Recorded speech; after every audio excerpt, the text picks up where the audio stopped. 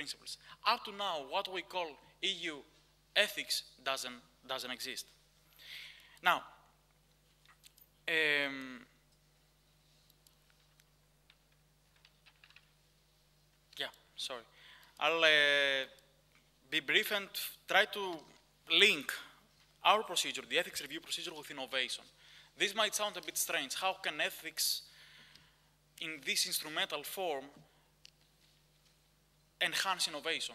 How can these two elements come together and, uh, let's say, create a fruitful and uh, constructive relationship?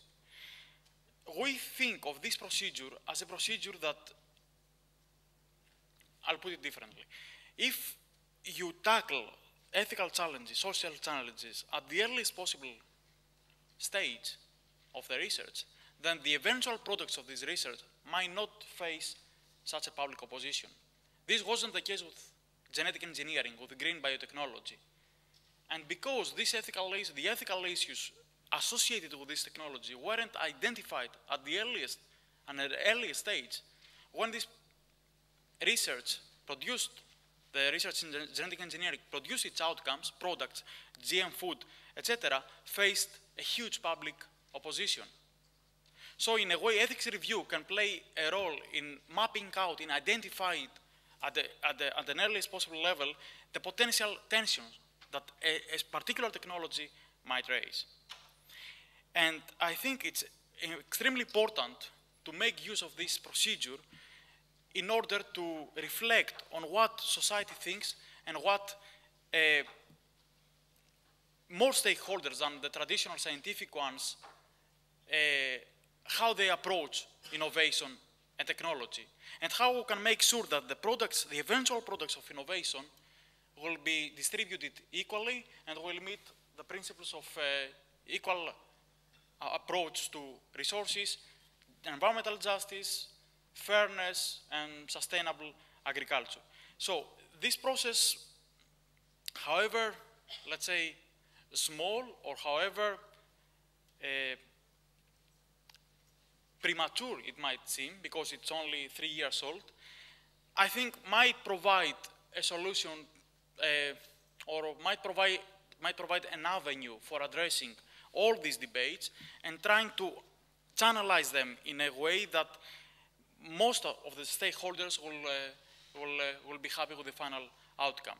I, I wouldn't like to, to, comment on the fact that we try to create a supranational procedure that will address problems of global participation and global democracy because in our eyes these concepts sound a bit vague and uh, I'm afraid that they sound a bit utopian. But I'm, I, will try to, to, to live with a constructive uh, remark that only by creating platforms that are interdisciplinary, all-embracing, and focus on the real trivial issue of research or science, then you might come up with a, with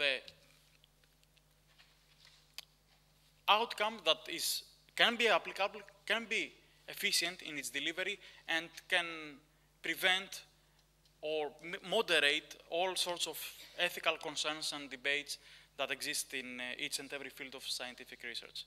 Thank you very much. Thank you.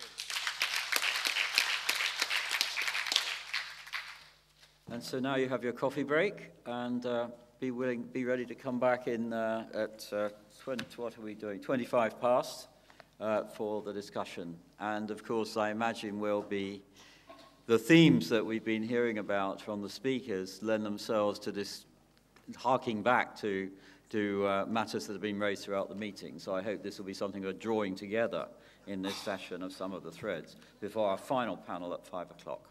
Thanks.